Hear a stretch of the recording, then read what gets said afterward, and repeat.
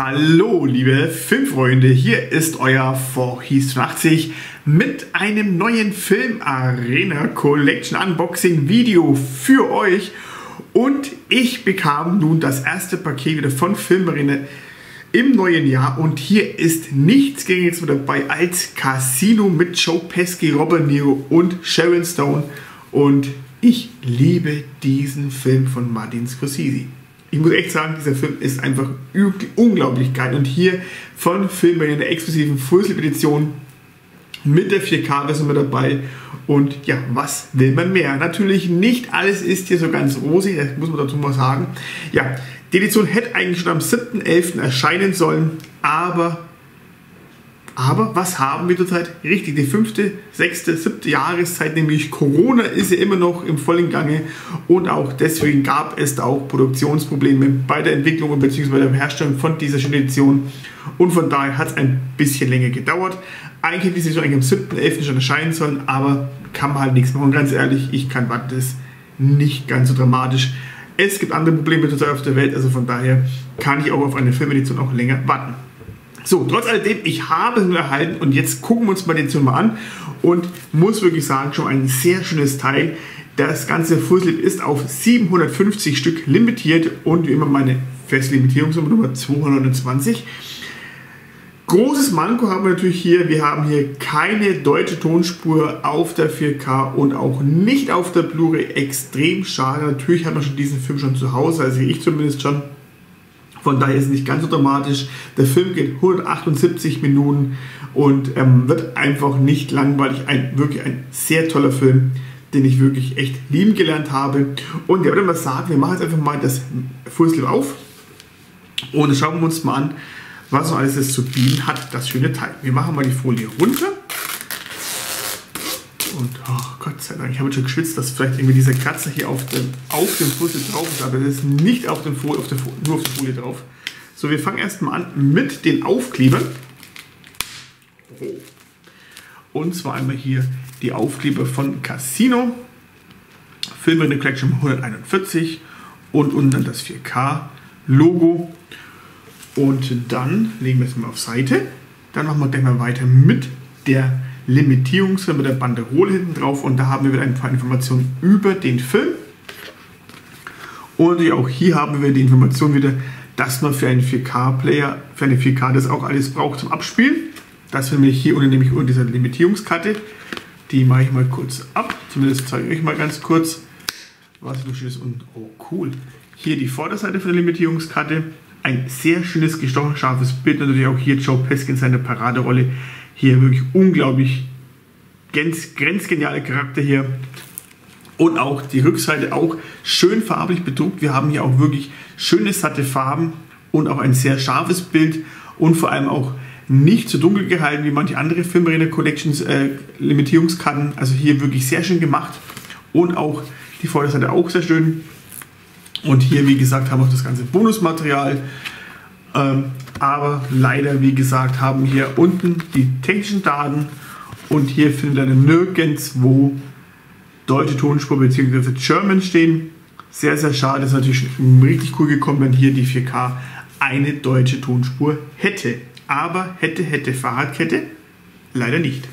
Okay, weiter geht's nun mit dem Full Slip an sich, und ich muss hier wirklich sagen, es ist auch ein sehr edles Teil, hat einen Hochglanzeffekt dabei mit einer ja, Lederoptik.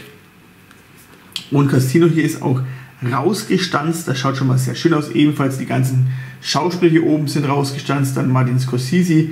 Also schon mal sehr schön, auch einen Glanzeffekt hat der Schriftzug oben drauf und hier eben dann ein schönes, scharfes Bild mit den drei Hauptcharakteren Joe Pesci, Robert Niro und natürlich hier auch Sharon Stone, die wirklich extrem lecker in diesem Film ist.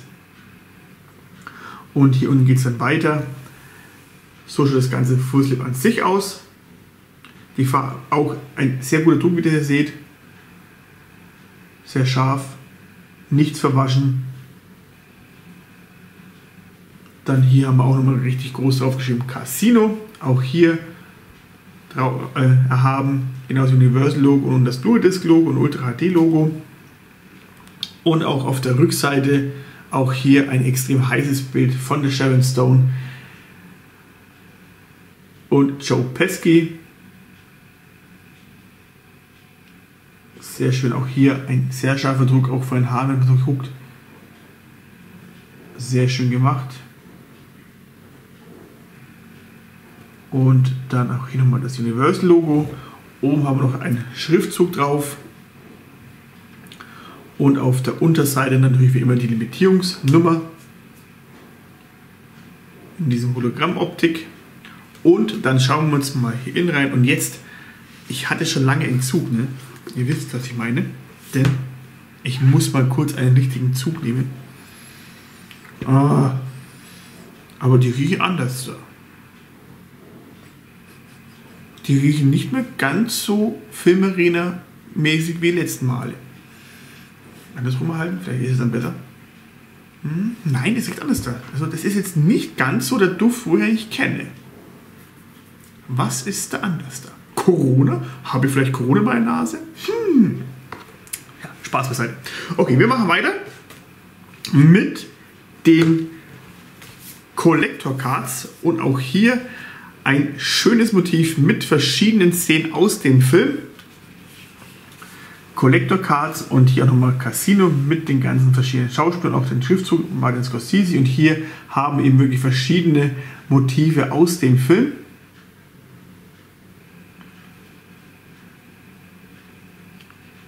Für manche etwas überladen, mir gefällt es. Hätte wegen mir auch gerne ein Bund sein können. So sieht das Ganze aus. Und hier haben wir auch am Spine auch nochmal Casino draufstehen. Auch auf der Rückseite geht es hier so weiter. Wenn wir hier aufschlagen, dann schaut das Ganze hier so aus.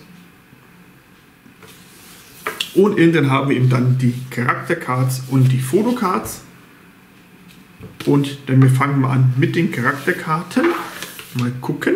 Rückseite haben wir schon mal das Motiv mit den zwei Würfeln leider haben hier, finde ich ein bisschen schade, dass wir hier wieder keine ähm, ja, Beschreibung haben, wer das jetzt wieder ist. Also hier Sharon Stone und vor allem auch noch dann der, der Charakter, den es jetzt im Film auch ist. Finde ich ein wenig schade, wenn es eine Charakterkarte ist. Einmal das hier, dann haben wir hier auch ein sehr scharfes Bild. Wow, unglaublich geil. Robert Nero, guckt euch mal dieses Bild an.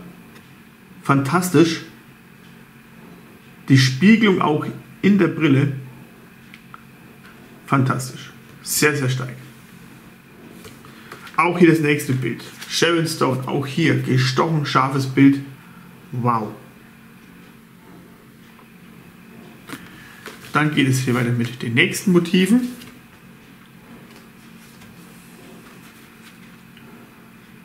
Also von der Bildqualität her kann man wirklich sagen, top die Nahaufnahmen vielleicht nicht mehr ganz so schön.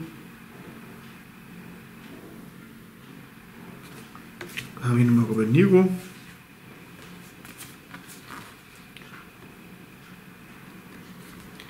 Dann auch hier ein sehr scharfes Bild, nicht nur weil Sharon Stone drauf ist, nein. Auch das Bild an sich ist scharf. Dann hier nochmal Dann hier Joe Pesky. Und das waren schon mal die Charakterkarten. Also wie gesagt, hier mein kleiner Minuspunkt würde ich sagen, hätte ich cool gefunden, wenn hier wieder auch immer die Namen dazu stehen, wie es eben auch mal hier anderen auch so ist. Und dann auf der anderen Seite haben wir die, die Fotocards. Da haben wir auf der Rückseite diese Motive hier. Und auch wieder hier von vorne schaut auch wieder sehr schöne Bilder aus. Auch schöne scharfe Motiv. Schönes scharfes Motiv. Dann das hier.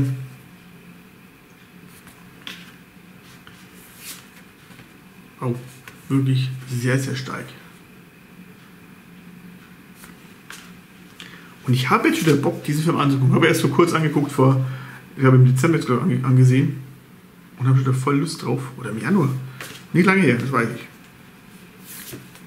Und dann haben wir hier das schöne Motiv. Auch hier extrem viel dabei.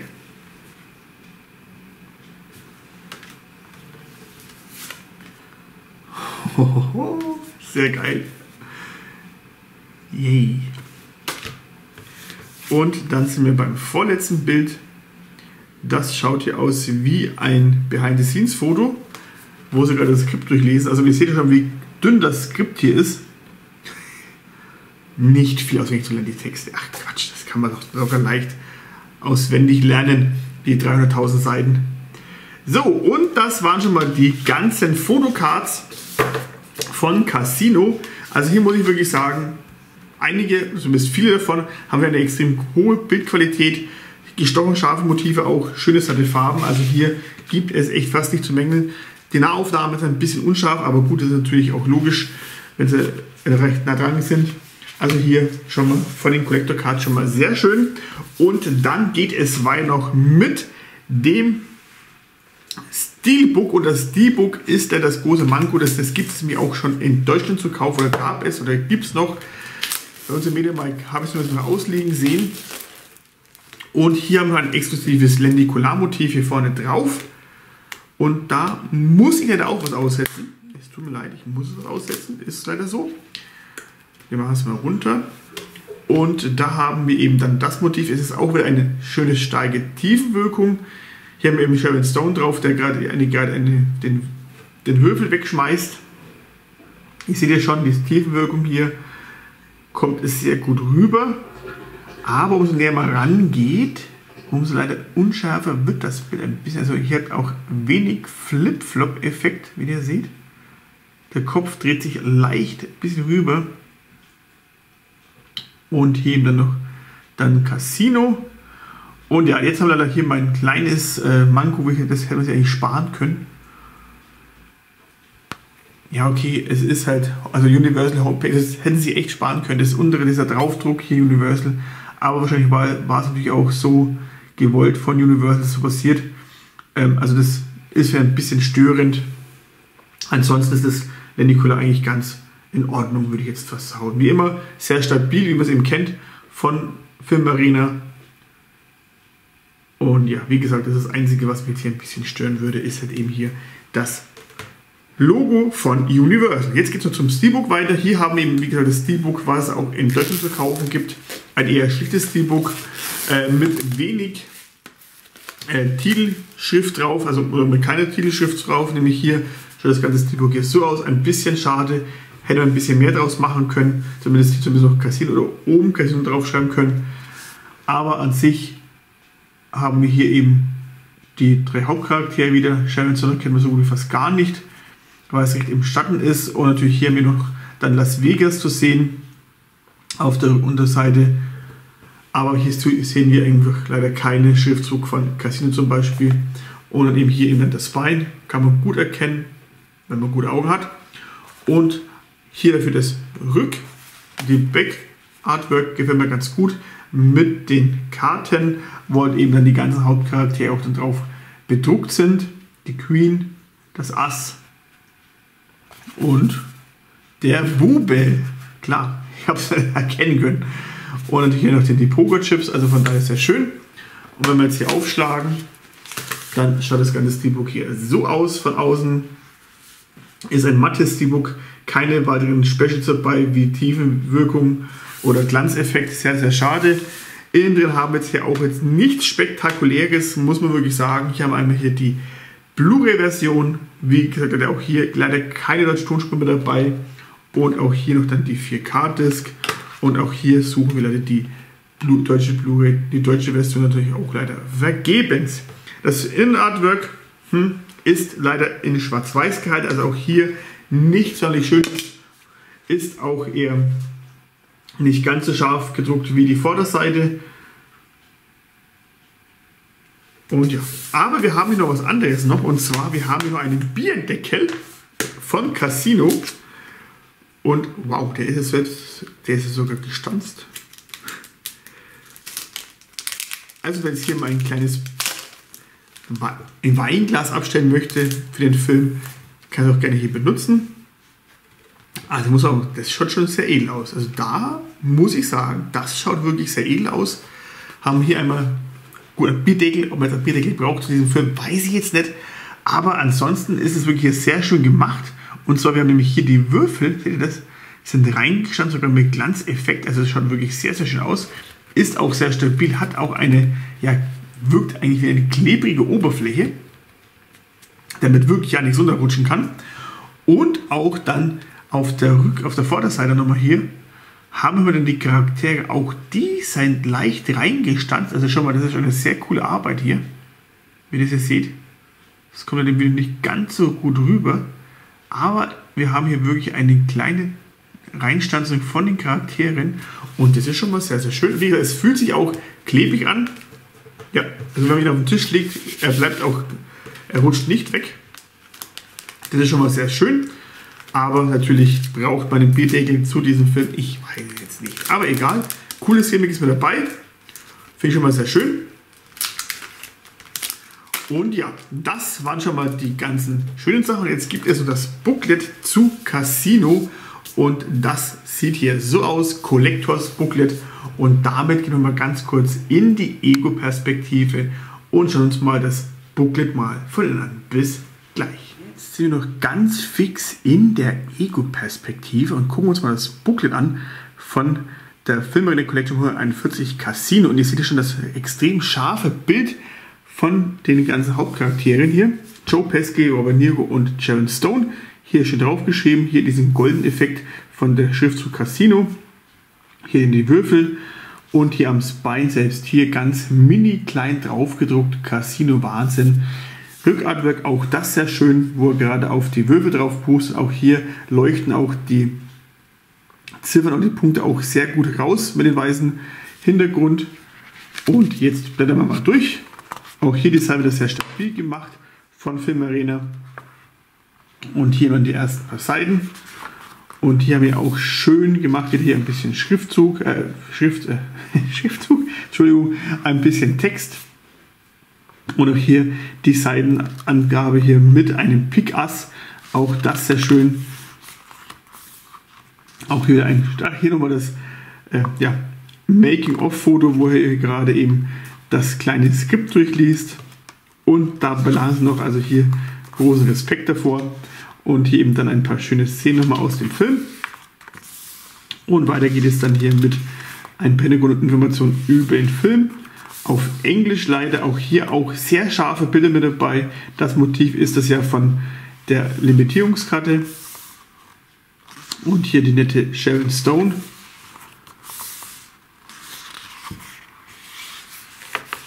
Ist wirklich sehr schwer zu blättern, muss man wirklich sagen. Papier ist wirklich sehr stabil. Viele dieser Fotos kennen wir schon aus den Collector Cards.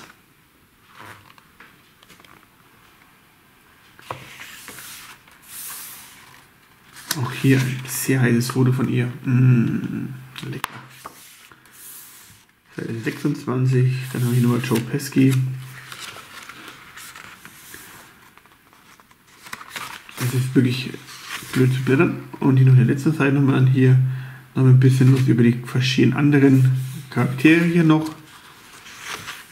Und hier nochmal dann über Martin Scorsese.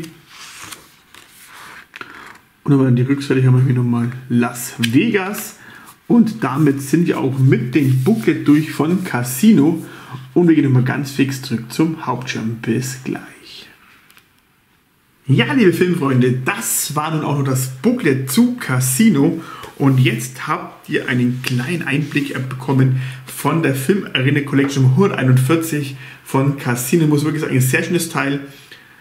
Einzige Mangos sind leider die, ja, das Lenticular-Motiv unten, das Universal-Logo unten drauf. Das Steelbook ist nicht gerade so sonderlich schön, aber dafür wirklich ein erstklassiges Full-Slip.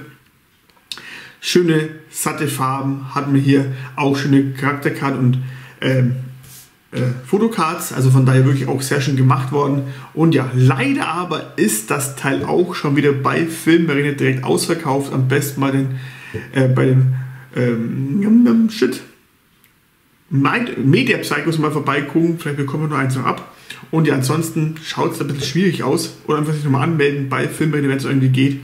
Und ja, das war's von mir mit der Film Arena Collection 141 Martin Scorsese's Casino. Und ich habe jetzt echt voll Bock drauf, diesen Film nochmal anzugucken. Ich denke mal, wird auch bald wieder passieren. Das war's von mir und wir sehen uns beim nächsten Video wieder. Bleibt alle gesund. Tschüss mit Ö und